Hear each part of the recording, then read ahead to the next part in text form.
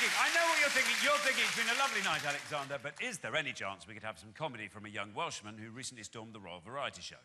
Well, yeah, I'm here to serve. Yes, we can. We can. Please welcome Rod Woodward.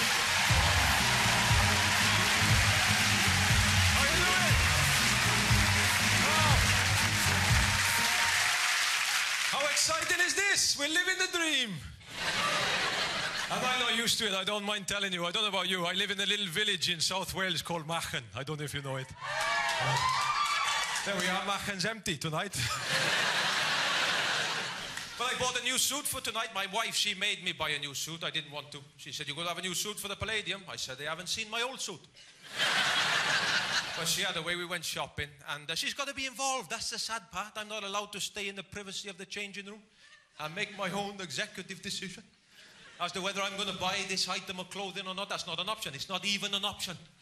I got to come out of the changing room and give a private fashion show for my wife and Marcus, the shop assistant. He was there.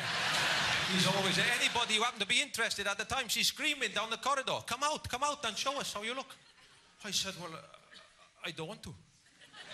She said, "You get out there now." Well, I came out. When that curtain went back, it was like stars in their eyes. There's half a shop full of people waiting for me. Smoke, lights, music. She said, walk over there. I started walking. She said, walk normally, please. That's the funniest thing. When someone tells you to walk normally, you can't remember how you bloody walk anymore.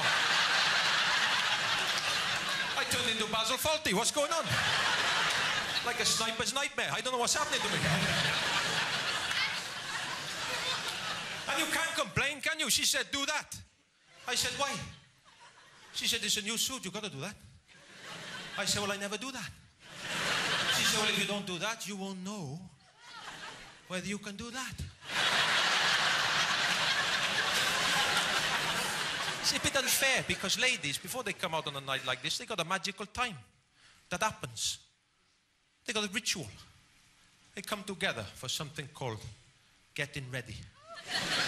Oh, they're getting ready. I don't know what goes on exactly, but it's fantastic.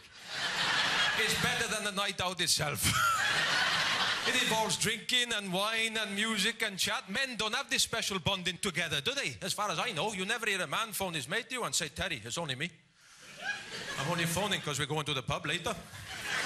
But I just wondered if you fancy popping round my house early so we can get ready together.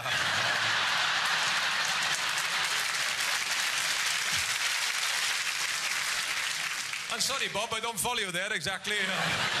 what have you got in mind? Well, I thought we could have a drink and a chat, you know, share a bit of cheese and wine. I can light a few candles if you like. Just to create an atmosphere. Put on a bit of Michael Bublé in the background. And then when we're nice and chilled, we can get dressed in front of each other. What about I'm sorry, Bob, I just remembered I can't make it tonight. Uh, well, you're not coming out? No, but you are by the sounds of things, aren't you? We're at the Las Vegas. Have you been to Vegas? Everything's themed. They've rebuilt the pyramids. They call it the Luxor. It's a hotel. They got a hotel called the Venetian, gondolas, canals in reception. They're not playing games. One called the Paris with the Arc de Triomphe and the Eiffel Tower. The hotel they're building now is going to be called the British. Hmm. So God knows what the theme will be there. you walk through the door, it's tipping down everywhere. Oh my God. Nobody can be bothered serving you. Litter all over the place, you know. You ring down for room service a week Wednesday, we can do you a sandwich if happens.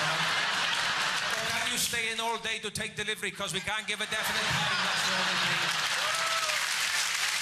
You've been a pleasure. Thank you so much.